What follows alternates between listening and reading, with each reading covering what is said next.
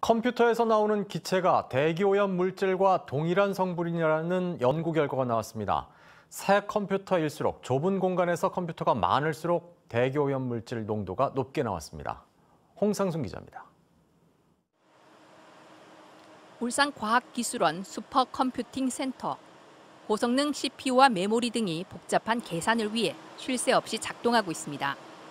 이곳에서 대기 오염 물질인 다환 방향족 탄화수소 PAH가 검출됐습니다. 24시간 동안 16종류의 PAH를 측정한 결과 세제곱미터당 50.4 나노그램이 나왔습니다. 컴퓨터가 있는 곳이면 어디든 PAH가 나왔습니다. 도서관 컴퓨터실에서는 39 나노그램, 일반 사무실에서도 34 나노그램이 검출됐습니다.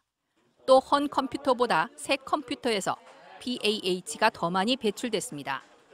새 집에 입주하면 초기에 실내에서 냄새가 많이 나는 새집 증후군과 유사한 겁니다. 컴퓨터 부품에 불순물로 포함된 PAH가 컴퓨터가 과열되면서 휘발돼 나온 것으로 분석됐습니다. PAH는 석유와 석탄, 나무 등을 태울 때 발생하는 대기 오염 물질로 체내에 계속 축적되기 때문에 소량이라도 마시지 않는 게 좋습니다.